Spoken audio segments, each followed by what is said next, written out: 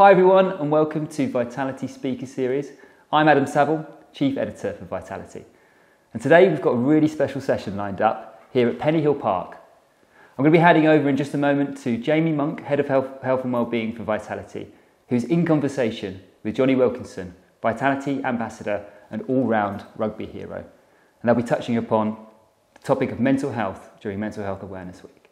So please sit back. We hope you enjoy the session. Over to you, Jamie. Hello, everyone, and welcome to this very special event with Vitality in alignment with Mental Health Awareness Week. As you can see, we are so privileged to be joined by Jonny Wilkinson today. Jonny, it's always a privilege to hmm. see you. We are so proud to have you as a Vitality Ambassador. Um, I'm actually going to start this off with uh, reading out your incredibly impressive right. resume. Okay. Um, I'm sure, hopefully, you're not bored of this. Obviously, we all know you famous to be, to be obviously Rugby World Cup winner, World Rugby Player of the Year. Um, you've represented the British and Irish Lions, um, won numerous do- domestic trophies.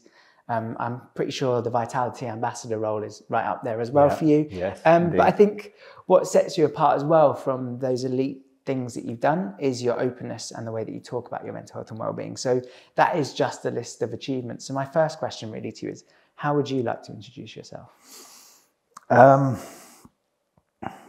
I think the most important thing for me is just is kind of how I turn up. It's like my energy, I guess. That's all I've got to really go with. That's all I've got is my example, and kind of what I've done will be defined by how I turn up now, if you like, mm-hmm. and what I'm going to do in my life is all kind of part of that. So that's the only thing that's really precious to me right now is how do I turn up in this moment, um, and to try and keep that energy in alignment with the kind of world I want to live in, mm. the kind of life I want to live, and the kind of future I want to to have for you know for those around me and for myself too.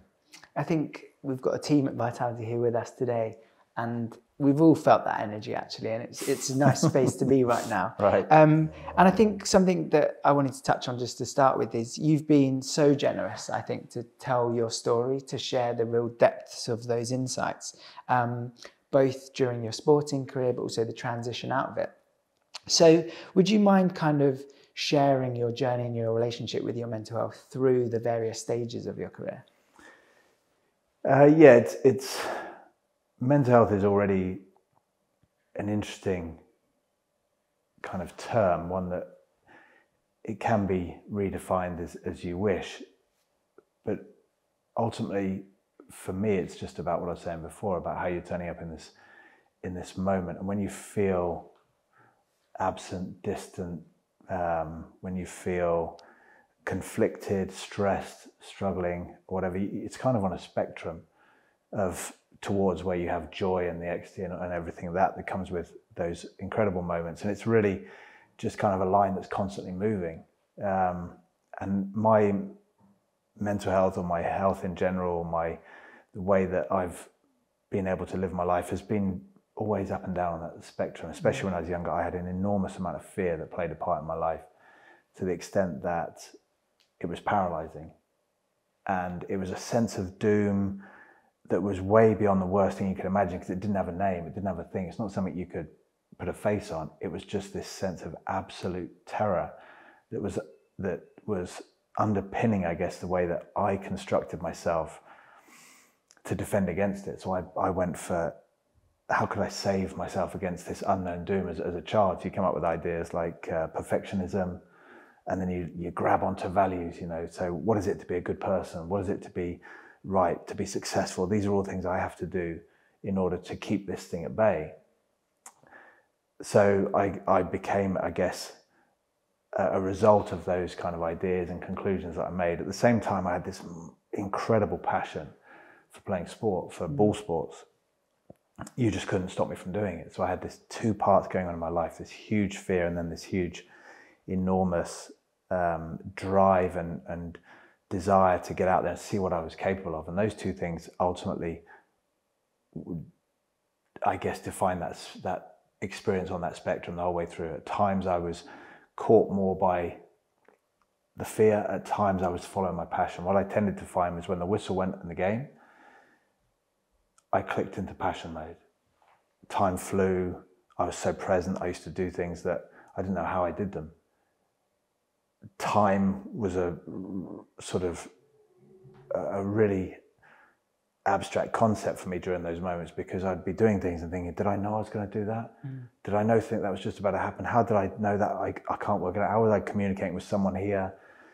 Crazy. And yet the experience in between those whistles, which unfortunately was most of the week, was the opposite. Mm. You know, largely it was about uh, suffering, sacrificing, survival, mm. just protecting, controlling, constantly feeling threatened by this future, feeling threatened by the things I'd mistakes I'd made or whatever, or things that I thought I hadn't gone as well as I could, threatened by what might happen in the future, and doing my best just to plan it all away, just so I didn't have to touch it. And yet, in between those whistles, I explored in between those whistles my capacity to respond to anything fearlessly, fully engaged. But in the rest of my life, I spent a large amount of time, not all of the time. I, you know, there's amazing moments off the field as well, but I spent a huge amount of my time completely denying my ability to respond, mm. completely looking at myself as needing to know everything in advance so I could plan and, and achieve this perfection. Yet, where I felt that greatest kind of buzz in my life was when I let go. So, at some point during my career, I started to understand mainly through having all these injuries for four years and, and being completely worn out, broken down in so many ways, I suddenly realized if I look back over my career, I was like, okay, well, there's been some great moments, but have I lived it fully? And the answer was a resounding no. And I thought, well, geez, fast forward, this is me on my deathbed looking back at life going, I've not even touched it. Mm. I haven't done anything. I haven't moved. I haven't, I haven't done the important bit. I've I've had some experiences and, and I've created some ideas and I've let those ideas live my life for me. I've never once looked and said, How do I want to live? How can I live? And taken on that huge mantle, which is part of creating the world that we have now. And at what point do you, you say, like, I'm old enough to start taking responsibility for myself rather than looking back and saying, Well, this is how it was when I was young, this is how I was raised, how I was brought up, this is the idea. It's like, well, what about now? How do you mm-hmm. want to live? And that became the the big push towards looking inwards and saying, well, hold on, it's it's no longer going to be other people's fault how mm. I feel. It's no longer going to be, um, you know, okay to just get through this next moment. I want to express my gift. I want to connect to other people. I want to find out what life's about. I want to find out deeply, deeply who I am, and that's not a part-time vocation. Mm. It's not something you do when the weather's good. Yeah. Um, it's something that every part of your life, every moment of your life becomes a signpost towards something bigger, and, and suddenly life changes completely. I think it's so relevant as well to the conversations that people are having at the moment. And I was, um, told you this enough time doing my research of this, I'm very well mm. prepared. And I came across a quote from a podcast that someone said um, relating to self confidence. And they said, something like self confidence isn't about looking in the mirror and shouting affirmations at yourself. It's about creating an undeniable stack of evidence to prove that you are the person that you say you are. Outwork your self doubt. Now, that to me seemed like a perfect reflection of potentially what your rugby career was like. But with mental health, we feel like potentially it's a stage where we're moving on to mental health part two. And that way of thinking is maybe more detrimental pe- to people than good firstly, would you say that is a fair reflection on maybe how you felt playing? And secondly, how do you look on that approach now? I think we're always doing the best we can. And we're always desperate. I think I think innately in people there's no doubt in my mind that we're always trying to help each other. We're always trying to do our best. We're always trying to make the most. We're all trying to find happiness. But we're doing it through old ideas which have limits. And certain kind of patterns to them. And until we break out of those old ideas, whatever we try and do within them is going to reinforce them. Mm-hmm. And so everything we do to find happiness is finding more yeah. disappointment. Everything we try, try to do to find freedom is finding more enslavement. Mm-hmm.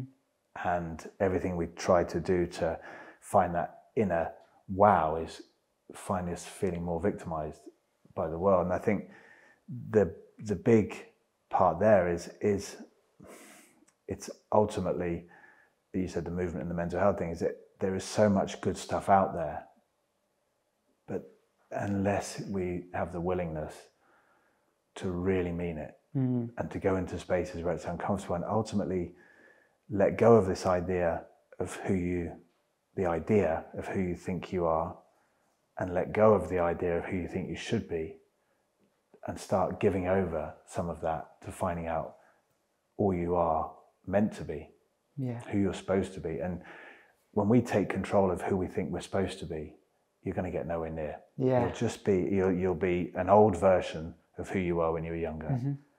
Older, less physically able, Yeah. less sharp. And it's like It's describing I mean, me. well, this is it. The point is that when you live through that old idea of yourself, very physical idea, then that phrase "life say" and then you mm. die. It's like, well, that's pretty true. Mm. But when you live, when you explore what's beyond that physical idea of this is just me. No, no, this is not me. Find out who you are more. That's not how life is, and that's that's the big challenge. I think is that yeah, the the, the mental health movement about those things is great, but there's the next step. Yeah. The next step is this can't be something that happens to you. It's something you have to you have to do the letting go. You can't get the world to let go for you. And um, what it doesn't mean when you let go is that you give up. Yeah. Your gift, your desires, your your purpose, your meaning, all those things, for me anyway, as I've gotten out the way of them, have come through stronger. I don't have a life of, oh well, because I've given up, it's like, oh well, I'm nothing, I'll just get blown around by the wind. It's like Yeah. I know now more what I'm supposed to be doing here than I ever have because I've gotten out the way. It's getting in the way of your gift that that I think kind of creates that much dimmer light of presence that maybe you feel. But when people are out the way of it, you know this. When people feel phenomenal, they feel free, they shine bright. Hmm. Just their presence in a room can blow you hmm. away. But we're too busy on looking at how we look, which is just getting in the way of that light. Yeah. The light that, we're, that is so desperate to come out of us. it, it, I think when you, because it, it probably takes a little bit of inner work to figure it out a little bit to to really appreciate what you're saying and really feel it. And listening to you and being with you, you I feel it rather than not. It's not even what you're saying necessarily. It's kind of that energy, like you were saying, and something that I've heard you speak about in terms of sort of your journey with mental health. And again, we want to make this as relevant to as many people as possible, whether they're employees, employers, advisors, brokers. You know, there's people are people at the end of the day. Um, and you know, we're we're trying to talk more. We're trying to share a positive message, and we're also just trying to help people with their health. And something that I've heard you talk about that is the non-negotiable for your health is about awareness, acceptance, and responsibility. Would you mind sharing with us kind of what those three things mean to you? Um, yeah, nothing can can happen to anything unless you become aware of it in the first place. So you know, people want to change the way they are or the things that they don't like, but you have to become aware of those first. The awareness is is the biggest part of everything. Um, that's what I was mentioning before about this idea that becoming aware of the capacity you have on the inside to create an environment which completely changes the world without that awareness, what do you do? Hmm. And it's not, oh, you, well, you're not doing awareness. It's just people are always operating to the limits of their awareness. If you want to operate high, you have to increase your awareness, which is that ability to, to observe what's going on, not analyze. Hmm. Awareness and analysis or evaluation are not the same thing. This was a big thing that I would do. I'd say, well, I'm being aware whilst criticizing myself. It's like, that's not the same thing. Awareness is neutral. It's, it's, it's compassionate, it's, it's loving and it's welcoming, but it's, it's neutral. It doesn't have an opinion on what you're doing. Mm. Otherwise, it's part of what you're doing. It's that deep awareness and finding that is huge, but you have to have a reason for it. There has to be a reason. Why is it important enough for you to turn away from the obvious, which is like, oh, well, my happiness will come from the situation around me. To turn away from that, you have to have a reason. And my reason, like I said, in the middle of my career was that I've achieved everything I could ever want. It made no difference. Yes, I enjoyed it for hugely, and there's that. Extent, I'm not saying that people shouldn't do that. On the way there, it's a beautiful experience, and getting it for for a moment was like pure bliss. But then afterwards, you're like, well, what was that about? It was a mm. con. So my awareness was like, well, hold on, it's not there. And then my looking at how I was living my life was still built upon this idea that it wasn't there then, but it will be in a minute Yeah. when I get that. Yeah. It's at what point do you stop and realize that this life has to be lived fully? And that wasn't living fully. The acceptance is that when you're aware of something, like I said about that, that neutral, compassionate, loving side, is that it's to be fully accepting of it. In that full acceptance leads to choice, leads to you getting back your um, your your presence, getting back your the, the control of all your faculties. In resistance, it's just reactivity. So whenever you resist something, all you do is trigger reactivity, which triggers old things you've put in place in the past. Your resistance will live your entire life for you. And the thing is, you already know what it's going to do for you because it's doing it now. This is it. Just fast forward 50 odd years, few ups, few downs, but this will be it. Yeah. But acceptance just removes that almost, um, it removes that guarantee of more of what we've had before and it stops everything dead and returns you to the unknown. Because in ex- pure acceptance of a, of, a, of a moment, of this moment now, and pure acceptance of it, there's nothing to be, nowhere to go, nothing to do. It's stunning. Your whole world stops, and suddenly, you, like I said, you get full sort of charge of your faculties back. And the final part, responsibility, is then, well, what are you going to do with those faculties? Mm-hmm. And that means tuning into what's exciting to you. Where's your passion? Where's your calling? Where's your urge? And to become more and more with awareness and acceptance, more subtly connected to those moments where life is calling you in every moment to go here, to go there. This person's coming to your life. Why? What are you going to find out? And then suddenly every moment is like, is the World Cup final whistle? You're thinking, what's here? Hmm. The same way I was when the ball was leaving the field and I saw the ref go to his pocket for his whistle. It's like, what's coming? But now you live your life in that space. Yeah. Or you can live it in a dulled out, numbed space where you're waiting for some magical thing to happen long in the future. Yeah. Or you can find your now where it is, here and now.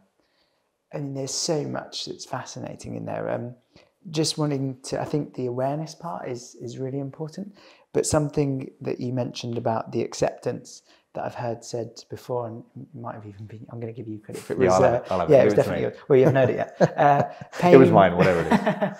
pain times resistance equals suffering, Okay. and and that kind of like you say, it's it's about letting it happen. But just I wanted to go to the awareness point because that seems to be the place that it starts. And um, something that I once remember Kobe Bryant, who's like one of my favorite athletes, talk about. He Wow, said, yeah. he said, if you knew what it took for me to get here and to be me, no one would swap. You know, you look at part of my life and you want that part, but to get that part, you have to have all of the other parts, and those parts are rooted in struggle and probably a dark place. So you mentioned that with awareness, there has to be a purpose. There has to be a thing maybe that happens that allows you to find it. Again, though, for our people watching, have you got any advice to help them find it? Yeah, I, I think it's whatever's causing you the most suffering right now. And then to ask, come away from from what it what the the external situation is best you can and say, well, hold on, um, what if I had a different way of looking at this? What if I didn't see life the way it is? What if I had a different view of myself? A lot of it, as you mentioned about the responsibilities, what if I a good question would be what if this was part of the path and not a wrong turn? And now suddenly you realize that it is always part of the path because it's here now. But when you keep turning away from those difficult moments, at the end of your life, you'll be more or less where you started. Or you can keep pushing on beyond. But the, the way to find the energy to push on beyond for me has always been, like you said, with that first part of the awareness, is just seeing how your life's being lived for you. What you mm. feel about a situation, what you feel about yourself, whatever, it comes up. It's lived for you. But it comes up because there's almost the way I sometimes sort of look at it is almost kind of like the past you as you're about to step into your world and the world is there to hit you in this beauty of this present moment but just before you get there the past you gets there and just molds it into what it's been used to and just says no have that instead. Mm. And at what point do you sort of say, the past me is no longer going to live my now? Tell me what's okay in the now. I'm going to explore that for myself. But in order to, you to become aware that that's what's happening. That's what resistance and reactivity is. Um, and for me, it was always that, that question, though, what I'm feeling now, what I'm telling myself, is it really true? Really true? Mm. And not to try and answer that question because the past you'll go, yeah, of course it is. Yeah. But to ask you it and then relax. And awareness is, as has been explained before, awareness is uh, or can be seen as almost the relaxation of focus. So you have like your awareness and your attention very focused, and when you relax, it expands. For awareness to expand, you have to relax. Mm. And you look at how much are you relaxing in your life? How much do you deeply relax? How much are you consciously able to say, yes, I have these feelings coming up because this person's in the room or because this has happened, but yes, I can still relax. That probably is the best space I could say for me is that in order to increase awareness, what I do is I find I challenge myself to be like, okay, is it true that it's completely unsafe right now? And often the answer is no, it's mm. not true at all. And I say, well, I'm going to relax then. Yeah. And as you relax, you get back your choice, you become more aware of actually what's happening in me. And that very question is, is it true that I can't be how I want to be right now? Is it absolutely true? Yeah. Now, it's very rare that there's some kind of physically sort of dangerous survival situation. But when there is, of course, you know, you won't even ask that question. You'll yeah. be busy doing it. But often yeah. it's a case of saying, well, hold on, can I relax in this moment? When I do, it's like, well, then I'll start to be aware of it. Mm. And when I have that space, I'll start to be able to choose whether I can accept it or not. The answer to that is yes, acceptance is unbeatable. You can always accept that you can't accept. Yeah. So you can't beat acceptance, and then you're on the, you're on the road. I think you brought it to life actually, everything that you just said there before we started filming, where you said to me, it can't be wrong. And I was like, okay, that's that's really helpful. Actually, that's really nice to know. Um, we, I think we're we're kind of maybe in a place here where we're discussing another way with mental health, and something that we're very keen to support people with is the interrelationship between all of the pillars of your health. So the connection between your physical, your mental, maybe there's social, maybe there's nutritional, financial, and the roles that each of these play in our overall well-being in your experience and in your view, how closely connected do you think each of the pillars are? And how do you know what you need at what moments? They're all, for me, absolutely connected. They're all absolutely um, one, but just different routes in. And it's, and it's important, I think, to explore all of them hugely. The, the, the physical body, it's, it's crazy how small changes can really change the way the world looks. Mm. But that old you will say, that won't. Yeah. But it requires that capacity to, to relax into it, try things, give it time, have patience, and, and what have you. Um, I think the everything from the social side, probably the way that I know what I want is, or I look at how I want is, is I've started to become quite precious with my health in general. And I'm not going to waste any of that energy. Um, what I'm going to do is in, in, always having these two choices. You either f- you have this amazing opportunity to feel very good, or you have this opportunity to look at things differently and feel sort of conflict and in, in conflict and resistance to it. But with that choice, every thought, everything you kind of eat, everything you do with your body is on is up for grabs. Mm-hmm. And the question is, you know, does this, does thinking this, is it moving me into more, is it spinning that wheel of feeling amazing or is it spinning right. the wheel of feeling rubbish? Yeah. And quite often you can say, well, I'm not feeling, it doesn't make me feel good. Well, then let it go. Mm. But you think, no, but there's truth, so I need to. But it's not, there is no truth. The truth, it belongs to those two opportunities. When you're in this one, everything looks great. When you're in this one, everything looks terrible. Yeah. But you have the opportunity to feed one or the other.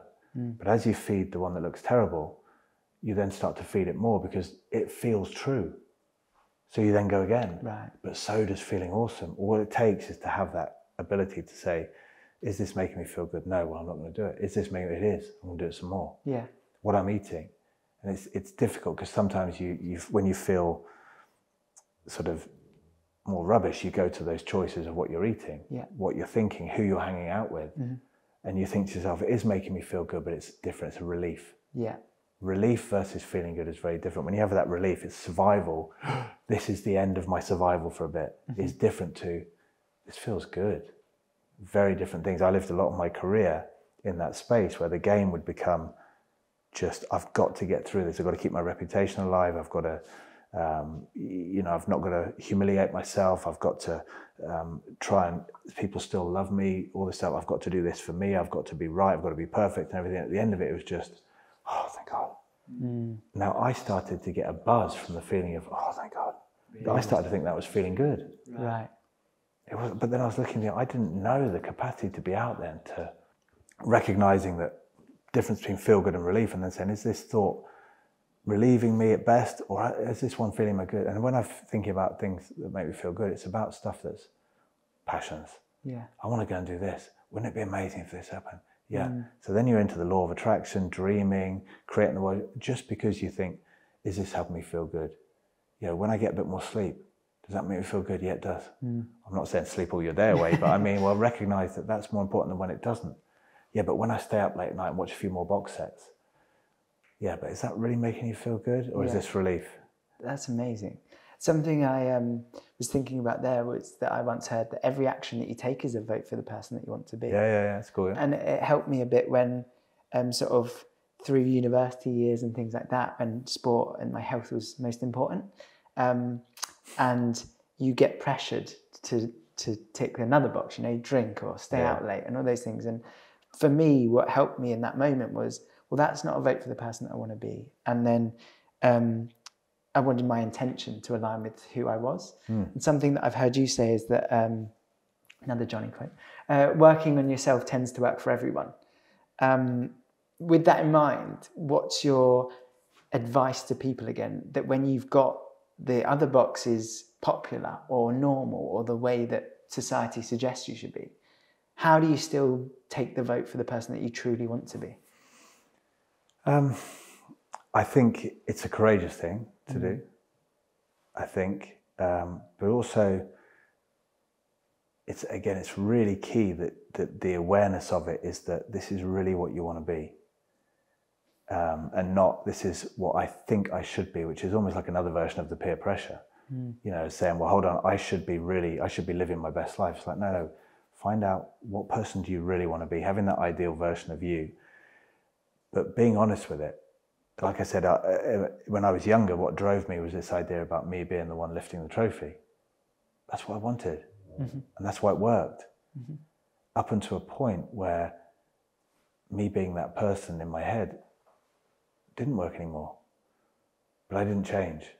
I didn't start voting. For, I still voted for that person Yeah, you've got to be subtle along the way to adapt and be able to say, now what I've found is that I have a real sort of strong idea of who I want to be in some areas, but so much of it I leave open.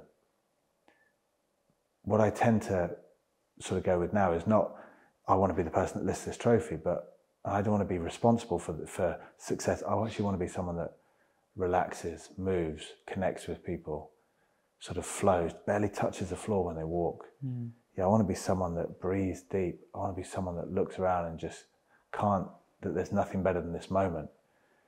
But sometimes when you can have a very strong idea of yourself, be careful that that doesn't then become another pressure in your life that you need to be. But you mentioned it before, one thing that uh, works for me with the voting for who you want to be is that I sometimes feel like with acceptance, awareness, and responsibility, I look and think, well, hold on. The choice I take now is going to be a gift to the future me. yeah, So I think, well, if I accept this and I'm, if I'm aware of it and I accept it, and then I open up my opportunities to deciding who and how I want to respond next, and I offer that to the future me and make it even more of a possibility for the future me, that future me is going to look back and be like, nice one. but if I go, react, respond, get through it, relieve, and I hand that over, he's, he's going to go, really? stitch me. Thanks. Good one. Because that's what habits do. Mm. You know, and as you give that habit, the future you becomes more inclined to feel that rush. Yeah. But when you do your work now, it works for everyone, including the future you. Yeah. But it works for everyone else just because everyone's after that. And and when no matter what you're doing, when your behavior sort of goes right, and, and this is not to to um, oversimplify or not pay absolute respect to what people are going through, and who knows the challenges people are coming up with far exceed anything I could even imagine right now. It's not that's not what I'm commenting on, but whatever is within your capacity to say, right, my next behavior I might be helping so many people, but if I'm stressing and suffering the hell out of myself in helping them, I'm adding to the sum total of suffering in the universe. Whereas I've got to find a way of being like, yes, I am helping people, but I also, before that, I'm helping myself so that whatever I'm doing, I'm bringing down the level of suffering in the universe. I'm bringing down the level of stress. I'm bringing down the level of conflict. Because yeah. inner conflict is still conflict. Mm-hmm. Whatever we're doing, we're chucking it up there and going, right, and that's the gift to everyone is saying a bit like COVID, you know, there was an anxiety in the air mm. that was palpable. It, it, got into my being and it came out of me in all funny ways because people couldn't help it. It was an anxious time. And mm. of course, people suffered horribly and it's, and it's been tough for so many people, but you could feel it. You could feel it because everyone was adding to it. Yeah. But that's our gift as a collective is to, you know, as one being, is to, we're all part of that being in some way and to do our, our bit, I think yeah makes it easier for others as well as our future selves to do their bit as well. When they look and say, I've had captains in in teams I play for, I look and say, geez, you haven't been picked for this game, but look at you. Mm. You're still chilling out and you're still having fun. I'm like, it's possible. It's yeah. possible. Yeah. Suddenly my heart goes, well, if that ever happens to me, you've just given me a gift. Mm. Or you can give the gift of, oh my God, life's terrible. Yeah. Look how hard it is. And this didn't go well. And no, look what's happening. Yeah. You're looking at that going, right, okay a different different way of looking at it i think i think that's such a really valid point that you know example here every single person in this room is contributing to this conversation mm, by the interactions that we've had and that kind of that's quite a nice segue i think didn't, well not sure well if it was intentional, well but uh, you know we've got some research at Vitality with Britain's Healthiest Workplace, and that research shows that one in five people are showing signs of burnout. And I think something that I wanted to bring to you is maybe your lessons from sport and culture and teams and things like that. Um, and I remember you talking about in an interview once that when you were injured, whoever came in to replace you seemed to get man of the match. Like they just seemed to be the best player on the pitch all of a sudden.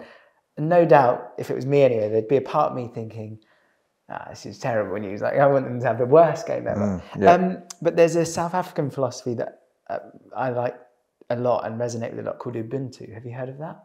I think it was um, Doc Rivers, who was the yeah. coach of the Celtics, that I kind of, I know you're a basketball fan, he kind of um, brought it to life for me. And it, it kind of stands for I am because we are. So I need you to be at my best so that yeah. I can be at mine. And I think that's maybe what I equated the man of the match thing to with you is that you'd set that standard, you'd set that tone, so other people were coming in and just matching that. So, thinking about workplaces and culture and environments from your sporting experiences, how would you create that environment where everyone is supporting each other? It's yeah, it's a big question um, because that's a global question mm. we have as a global population, but it's also all in the mini communities and the families and, and whatever you're doing and within yourself even. Um, but I think the f- first thing that always fascinates me is the number of times that people within a team that I played in, coaches or me as a captain or whatever, would go, I just want to get the best out of my team. But the hardest part about that is it being when you get pulled up on it, you say, Well, do you know what that is? And like, Yeah, I do. Well, so there's your problem you've decided already for all of these people what their potential is. Mm-hmm. I mean, that's as arrogant as it gets. Because mm-hmm. it's like, I must know you so well to know what you're capable of. And yet, how, how much have I lived any moment in your shoes? Have I taken any time to really get to know you? And even if I had, would it ever be enough? Could I know you so in and out to, to understand what you're capable of? And yet, I've already made that decision because I say, oh, I've seen you do this a bit, and therefore taking that into account, I have a story that says you can probably achieve that. But what if you looked at that person and all you could see is pure possibility, no roof on what they could be? So when you speak to them, that's what they feel. Mm-hmm. But honestly, when you speak to them, and not only that, but when you speak to them about something that you'd like them to do or a job you have for them in the team, that you have absolute trust that they will do it whilst you're telling them as opposed to the feeling that we often have, which is like, you're probably going to mess this up. So I'm going to talk to you like you're going to mess it up. Yeah, don't mess it up. Don't mess it up. Yeah, you're going to be fine. Honestly, well, so even things like, understanding, do you know what the, the best is of someone? Well, no, I don't. Well, how can you get it out of them? Mm. As soon as you take direction, you're going to ruin it. So, what is the only direction you can take? Like you just said, well, look after your own. Mm. Now, that will teach, that will give you everything you need to know about how to talk to them because talk to them like you talk to yourself. But that's what they mostly do. Most people go to, right, I need you to do something for me, or I need you to do a role which I think is important. So, I'm going to go straight down fear and anger. I'm going to get you a bit fearful mm-hmm. and a bit angry about it because I, without those two, I don't trust you'll do it. Mm. Because that's how we talk to ourselves. Yeah. I've got to go and do that. If I don't do it, this will happen, so I better go and do it. Can't believe you just did that. Right, so I'm going to get it. It's like, but, but why, when you can become the ultimate teammate to yourself, is the same thing. When you can do that, you'll find that that creates the team. But to be the ultimate teammate to yourself, you've got to give up this idea that you've got any truth about what you're capable of. Hmm. To have some kind of story about who you are that you think is, has any truth to it, but to use that story as an inspiration. I had a guy that was an inspiration to me, a guy called Steve Black, as he walked alongside me and spoke to me. He genuinely believes I was capable of anything, Wow. genuine. And as he was talking, it was fascinating. He couldn't help it, hmm. almost to the point if he'd look at me. He, I spoke to him not long ago. He passed away recently, but I spoke to him not long ago. And I was, I was, I think, 40 years old. I'd been retired for five years. And on the call, he's talking to me like I could play again, hmm. like I'm going to play again. Not just that, but he's talking to me like I'm going to play again and I'll destroy everything in the mm. game. And part of me is thinking, if I had you right next to me, I could do that. I know I could. So, so what was it though that you felt from him that made you feel that way? It was pure. Mm. But did you feel the pressure of him believing that? No, it, it was mm. pure because the pureness of it meant that it didn't matter. It was unconditional. It wasn't on a level of, well, I believe this until this happens and I won't. It was, this is my truth. It is a truth that cannot be broken. And it was phenomenal. But the, like I said, in terms of the, the, the um, team, the team spirit side of things is, I think ultimately it's about gathering energy and that's all everything you do brings you energy and that's what we were talking about before about you looking after yourself doing what feels good finding ways to finding your your highest excitement in every moment so you're in you're in a team meeting the coach is doing a video of the game and he's just about to bring up something you did in the game which went terribly and you're looking thinking okay so how do i follow my highest excitement now i have to find out what's my highest excitement my highest excitement is to look at this and be like I want to learn from this. Okay. Or it might just be, I want to relax. Mm-hmm. That's my highest excitement now is relaxing. But follow it. It's got a message. When every little player is, every player is following their highest excitement in every moment, the sum total builds up and you always get something that you just can't attribute to the players. It's too much. Yeah. You've got 30 players and you've got something happening which is like a thousand players. You cannot work out how it happens. All you do is look after your bit. Highest excitement, do things that bring you energy. Um, and even when it feels tough, find a way of something that brings you energy. And relaxation is always that. Mm. Relax, find energy, and then a passion will come up, whether it's to speak to someone, whether it's to do this, and you follow those.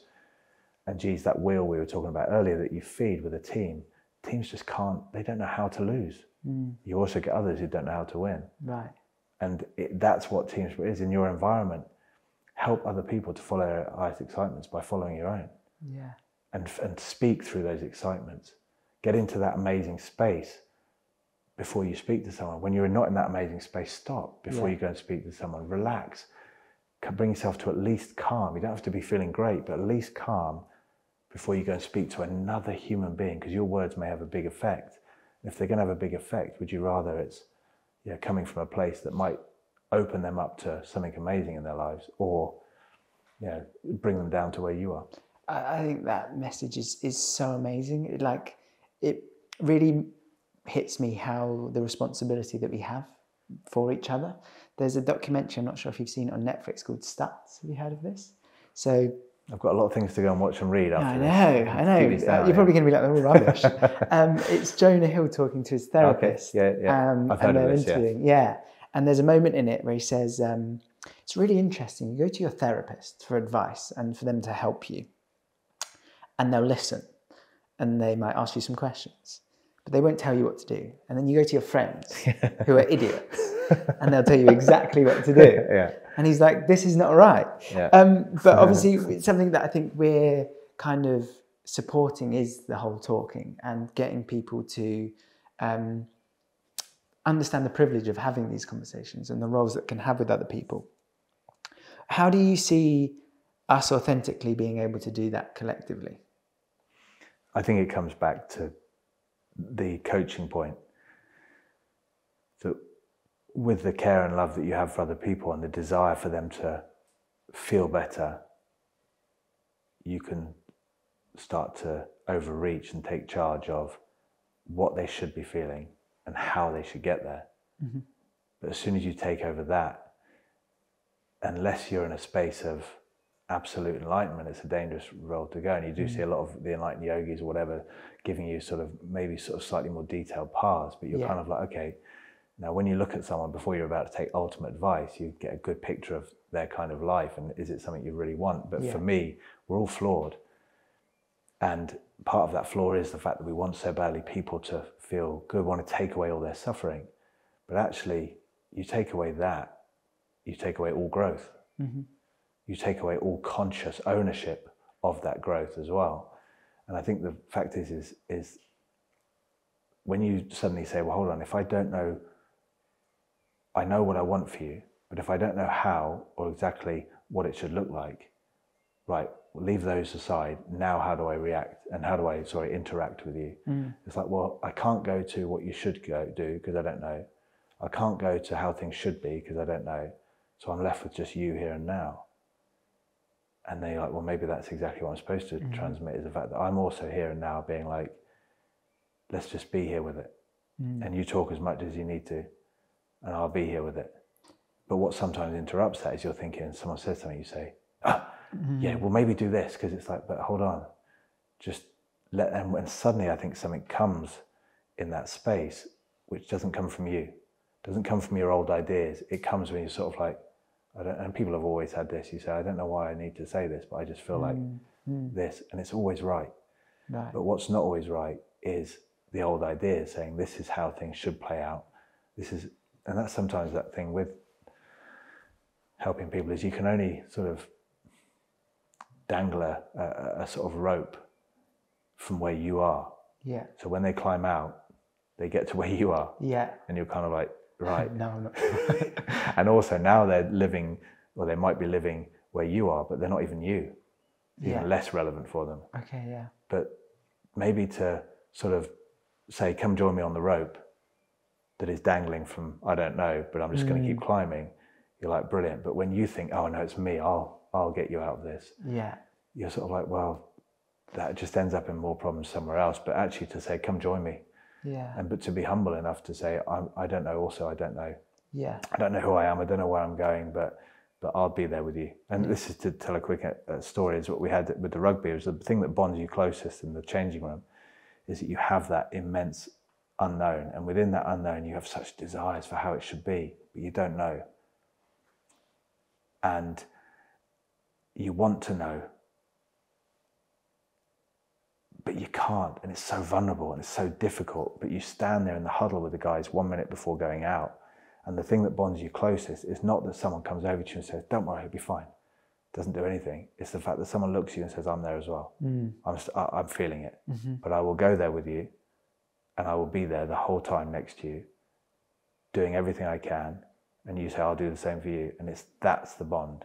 Wow. The bond is not, don't worry, I'll sort this out. And I tried to be that guy. Really? I tried to be the guy that was like, don't worry, I've done 45 hours of practice Yeah. just yesterday in order that I'll make everything perfect. yeah. It was uninspiring. All Right. it did was kind of make people sit back and go, well, you go do it. Yeah. In which case I was going, but I don't want to be doing it. Yeah. And you mentioned about the man of the match thing was that when I came out, other players went in who were a bit more like, all right, well, come on, guys, I'll go with you. Yeah. And the guys went, nice, Okay. came forward, Oh, wow. all played together. And of course, suddenly this player's like, oh, because I was holding people back Mm. with this idea of like, I'll sort it, I'll be the savior, I'll be this. So, in a way, it's that powerful bond that's created not by being something, by offering the answer, by you know taking the photo that says, "Look at me living the best life." It's more like you said at the very start of this interview. It's more that power to sit there and say, "I don't know," Mm. and you, "Oh wow, but you've had this happen," and it's like, "Yeah, yeah, I've got challenges coming all the time." Only a year, year and a half ago, whatever, I was in the right thick of it with all this that's come to me, and yet I'm hmm. still there hmm. suffering. And it's like, but I sat in that suffering and was like, I want this. Hmm. I want to find out what this is about. Compared to the only difference was it hurt just as much, but the last time before that, it was like I can't bear this. This time it was like I can't bear this, but but I'm slightly excited by it Really? slightly, yeah. And now, now when it goes, you miss it. It seems Wow. horrible to say it in my space because within it, there's such guidance. Hmm. Within your challenges, there's such guidance that when you start hitting that, everything's pretty good. It's like the energy is tapering off. Right. Um, and it's a very interesting space, but it's always that part of just saying that there is no one out there living the best life. Mm. No. But there's people out there who are still excited about what's what's being revealed by this.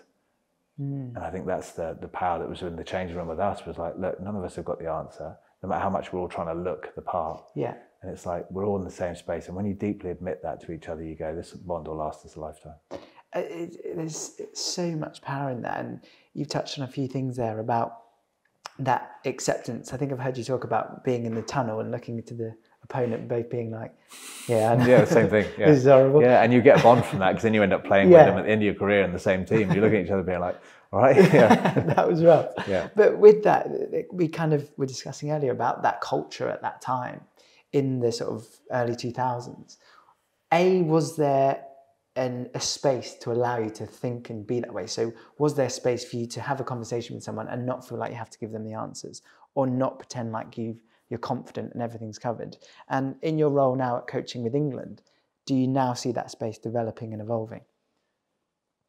The in the best teams, the environment is put in place to give people the freedom to be themselves. Much the same as me as a captain, I struggled for a long time because people felt around me, I think, that they had to be the way I needed them to be around me. They couldn't be who they were. There wasn't enough space. I was too rigid and black and white in how I saw things. Um, and when you have an environment which allows people to know what they're after, to have structure and, and guidance and direction in terms of like what we're going to do out there, but still have all that space and that they can be themselves, do it their way, and feel that it's always about them, even though it's also got some direction to it. It's always, always about them. And when teams put that in place, you don't have so many of those conversations needed, funnily enough. But when when it's not in place, it triggers a lot of the distrust issues that we all have, especially in in certain areas or whatever. Um, and when you're in that space, and that obviously does happen in any space, people always struggle in all kinds of ways. Whether it's the most amazing workplace or not, it's never going to be perfect for everyone. And and but anyway, people are going to have that problem. But that's where the future of all of this is going. It's where the future, I think, of the world is going. Is in that people recognizing that we put a lot around the physical, a lot of physios, a lot of doctors in squads. You know, now they're more and more and more to look after every player straight after training. Let's get them doing this. But the mentor is an untapped resource, and you have psychologists and what have you. But you know, the psychologist is very interesting in that space. That you can connect with one, and actually, what works for some person, you go and talk, and you're just like, I just don't feel it. So you you need lots of them. So now, do you have a system where you have everyone has an opportunity there to to be able to unload and talk and and explore? Undoubtedly, it's where the future of the game has to go. When people realise that there's only so far you can push a bar on how much energy, how big a player can get, mm-hmm. how fast they can be. You're like, we're talking about these. But the mental side, it's like, wow, you get a player that feels phenomenal about themselves. You look at the difference one week to the next. Mm. So that's the area that's going to unfold into, definitely. But putting those, that requires, I think, relationships of enormous trust. And when you have, you're going to select me or not, it's quite difficult to have that. Not to be like, oh, what does he want me to, or what does she want me to say, and I'll say it because I want to be selected. Versus, you know, and that requires people in all those leadership roles to to just recognise the importance of and the value of every individual, not just in the team, but in the in the hotel you're staying in, or in the you know, in the ground staff that have prepared the pitch immaculately, whatever it is.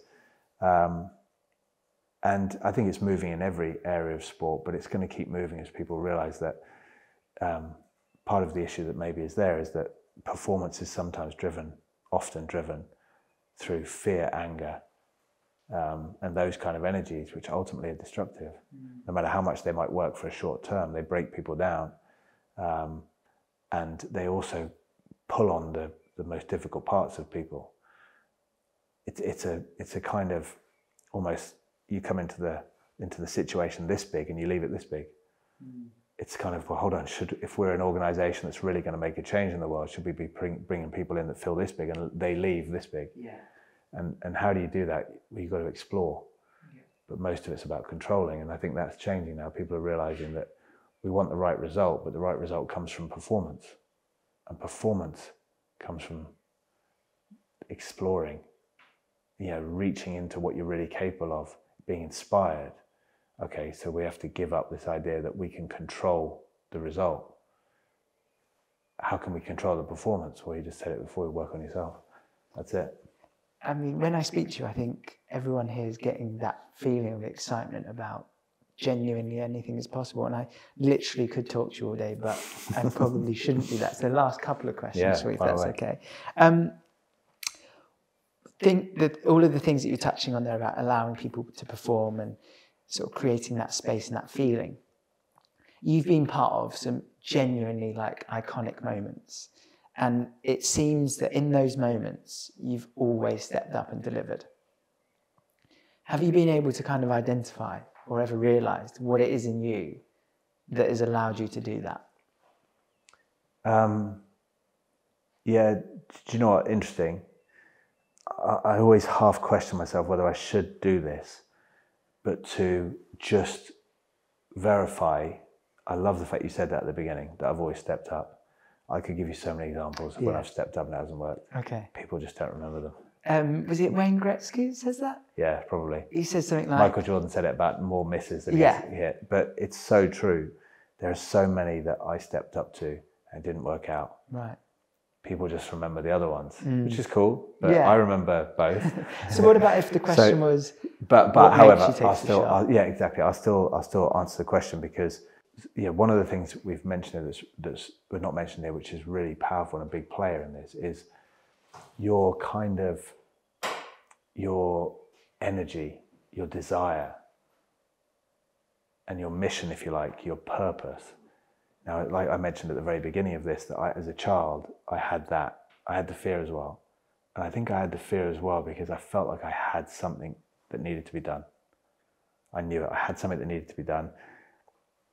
And I went for it. I couldn't stop myself. There was no sort of, oh, you're so dedicated. It's like, I can't not do this. Mm it's harder for me to sit down and relax than it is to be out there for two hours doing this or this. I just, yeah. I just knew I had something. And through my childhood state, it came out in this kind of like, it has to be rugby. It has to be winning things. It has to be. And that obviously that's driven by the fear or driving the fear, whatever it is, but it has to be. Well, I've then got to be the kicker. Mm-hmm. The only individual sort of, right, apart from throwing in a line out really, and a few other little things, like the one bit where the game stops and it's on you. It's like, well, it's got to be me. Why? You're someone that fears failure. Is that really a good idea? it's like, it has to be me. Wow. And then as games go on, I get injured. And everyone sort of said, oh, you've got so many years of injury. How did you come back? It's like, I had no choice. Mm. After I had my neck operation, the next day I'm in the gym riding a bike with a neck brace on. My brother's like, what are you doing? So I don't know. I, it, I can't not. Mm the difficult part is when people are in places and you feel like, how do we get them going? You're like, that's an interesting question, a much bigger one, a very difficult one mm. to address, and how you inspire and you find the right touch points of people and you offer the incentives that, you know, and, and you find ways of bringing everyone together. But for me, I just knew I had to be doing that. And then at some point towards the end, when the rugby came, it was like, it's not there anymore quite as much. And it was like, right, I'm not going to play rugby anymore and with a bit of time and patience, that same drive starts to come through somewhere else. And it's like, ah, oh, it was never about the rugby. Mm. And whatever I'm into now, which is this, it's kind of it's probably more likely to be about this. And as I continue to get out of the way, it's like, ah, it's more, and I'm going to enjoy finding out what it is. But I've known since I was, I've had an energy in me that can't rest. Wow. And part of me, this is where I disconnect from people sometimes because they're sort of like, well, it's not been my experience of life. And a lot of some of the things I talk about with the relaxation and what have you has been driven by an insatiable kind of purpose. I haven't always known exactly what it is after the rugby, but it's re- re- revealing itself. And I, I love following it. I can't rest. You know, I sit there and think, I just have a few days chilling out. It's like, mm. I'm just onto something. Yeah. And I, and I love looking at myself and being like, what is it you're into? How's this shaping up? It's, it's a nice space, but it's difficult because the other part of that is, you know, how do you, when people don't have that and they're asking, you know, how do you find your passion? Like we all have it. And I think it's having compassion for yourself, patience, time, relaxation, acceptance, awareness, all those things that reveals the passion that's in the compassion, if you know what I mean. It's it's amazing to hear you speak about that. And when you find that thing and follow it and drive it, the momentum that builds, it's such an exciting place to be. Um, Jonny, I, I have to wrap up with a final question. And we like to ask this question to all of our guests. and it's far too big. It's a Right, okay. terrible question. It's a big question, Pretty sure it's awful, but I'm doing it anyway. Yeah. Um, so obviously at Vitality, we are. You've kind of spoken about some of the things about supporting people with habit changing, building these small things that will over time accumulate and develop into much bigger things. And I think you know you touched on motivation, and we like to incentivize and reward people for doing those things. So my question to you is: Is there one change that you can identify that you've made that's had the biggest impact on you? Yeah, I think undoubtedly in the more larger scale, it's been about this whole the desire to take a bit more responsibility for what's happening within me. And it's all tied in with the awareness, acceptance, and responsibility. But probably the biggest thing has been the awareness and acceptance part to just be aware that when you kick into that under, you can see it's slightly irrational according to the situation. You know, you're having a chat, someone says something, and you're like, "Oh my gosh!" and I'm mm-hmm. burning. Mm-hmm. Like this is irrational. Mm-hmm. You know, it's it's hysterical and it's sort of. Uh, I quite like the expression. If it's hysterical, it's probably historical. And then to stop and rather than jump into it and go with it and react and give that gift to your future you and say, "Here, there you go. You deal with that as well." Yeah. to sit in the discomfort. Like I said before, I've always known what I've wanted, and the discomfort of the fear has been something that I've needed to conquer. And as a result, for many years in my rugby, I burnt myself out. I went down roads of pure um, injury, mental side that was you know, on and off the field, whatever. Because within that rising of whatever it is, there's also a really powerful message. And it's there for you. It isn't just all bad. It's not, oh gosh, I've got that anger again. It's in the anger, there's a message. But you can't hear it until you relax into it and sit with it. And I wouldn't sit with it. I wouldn't until one day I came to a point of realizing that I cannot go on anymore unless I find out what this is about and stop treating it as just a threat that I need to overcome. And so you think about coping with stress instead of listen to stress. Hmm. You think about managing pressure, listen to pressure, sit in it, bask in it as much as uncomfortable as that feels and the urge to get up and do something and fear. Yeah, you've got to deal with your fear of failure. Well, no, listen to it. Beyond the stuff where it says, oh, if we get this wrong, this will happen. It's like, no, listen to what it's trying to tell you underneath. The message I've sort of come to every time I sit in it, uh, no matter how long it takes. And when I say it's, it's horrible, it's there is probably I think it's the most courageous thing anyone can do. Um, but the message that comes to it is always something deeper that says there's more of you that can come out here, mm. and you're just you're denying it. There's so much here for you. You are so special. You're so welcome. You're so wanted. You so belong. And we've been trying to tell you this so many times through so many ways to try and get you to listen. Just stop, slow down, relax, and take time and, and don't expect that voice to actually come up and go, oh, by the way, it's this. Mm-hmm. But it can be days, That's what the meditation, you know, just, just 10 minutes a night before you go to bed. But do it the same way you'd rep out in the gym. Mm-hmm. Not just because, oh, I've done my one set of bench press. Why am I not huge? It's Yeah. like, well, you need to go again. Yeah. Well, I've eaten a, an avocado. Why am I not feeling awesome? Well, you need to eat every meal. Mm-hmm. So with this, when the thing comes up, become aware of it and sit in it. Not waiting because it'll tell me now, but just sit in it because why not? Because you've tried doing the other thing and you know what that brings. But we haven't tried is this. And when you do it, it's like, ah, now we're talking. I don't think there's probably a better way that we could end. I think that's the best soundbite I think I've ever got from someone.